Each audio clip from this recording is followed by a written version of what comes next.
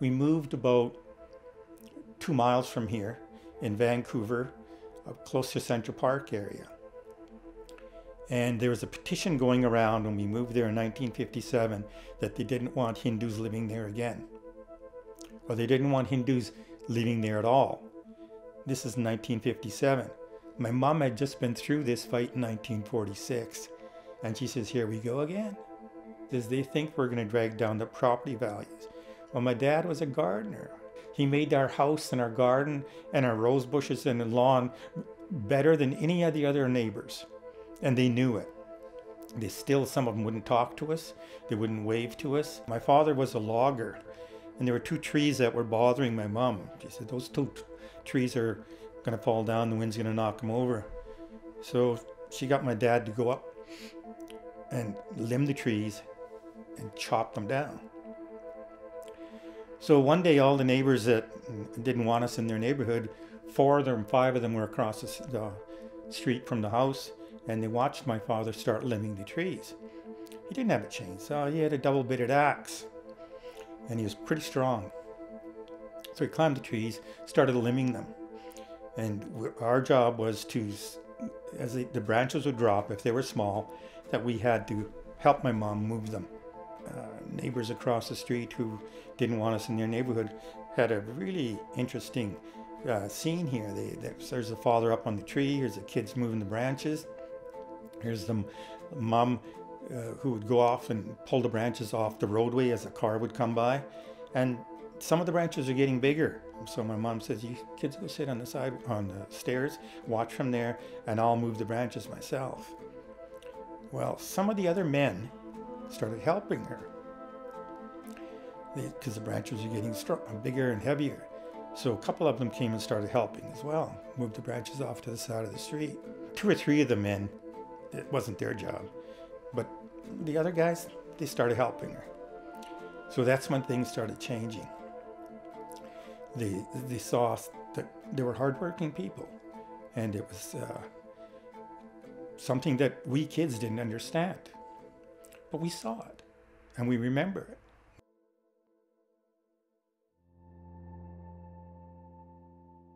Going back to the long period of uh, over 100 years of people being um, silenced, really, told you can't have the vote, you can't be treated as equal citizens in this country, being refused entry to Canada, like the situation of Komagata Maru, you know, after all of this hundred years of being told, be quiet, be quiet, you don't have a valid voice, then it's very hard when you start asking the community, hey, please come forward and tell us your story. People are quiet, they're silenced, they're afraid.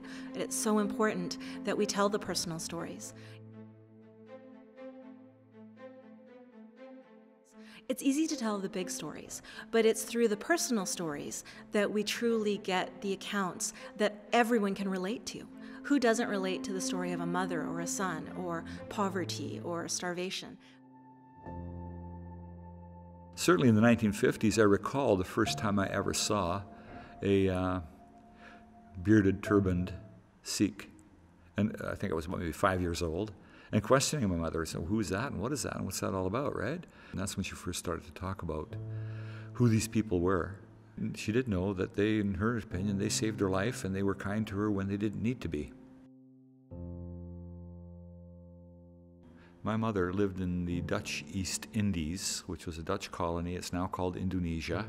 That was invaded by the Japanese. All the Dutch troops that were defending it, and some Australians were either killed or incarcerated in prison camps in other parts of the world.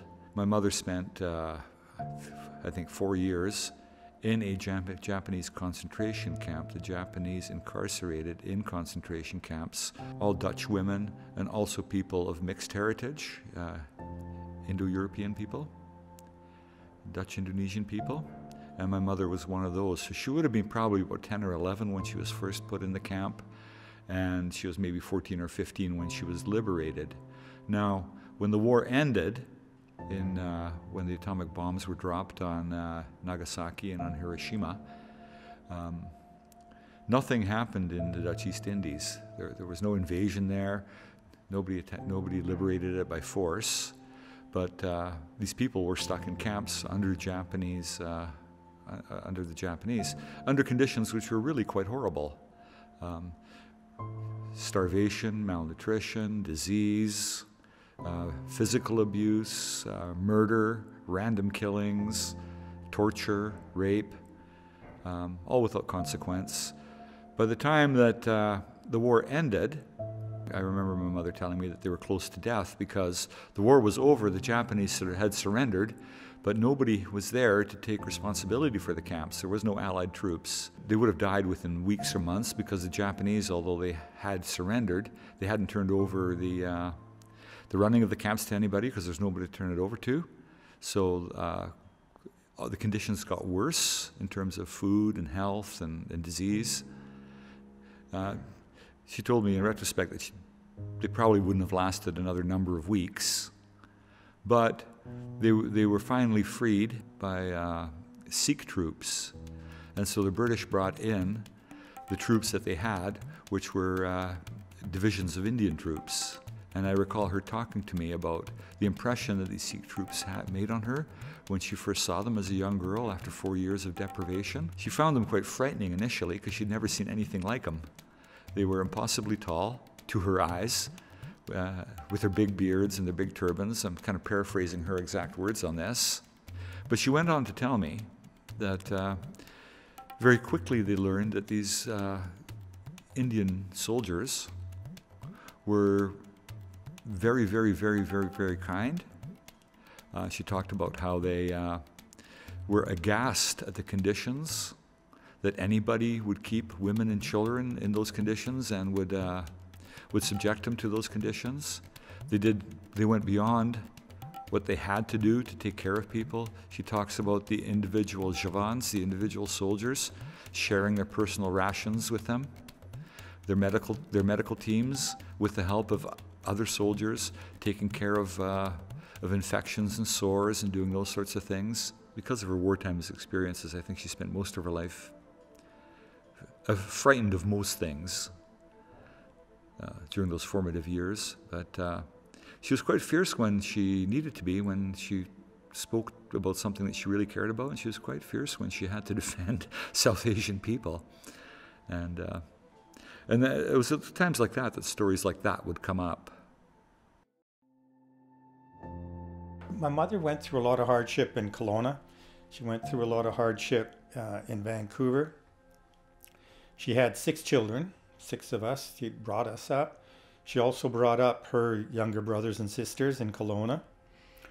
Only went to school uh, to grade seven. Father passed away in 1942, so she had to look after the children, look after the farm. Basically, she had to look after the orchard. And that responsibility took a lot of her strength. But she was a strong woman. She made sure we got a good education. When we moved into the city here in Vancouver, went to good schools, lived in the Killarney area, grew up in South Vancouver.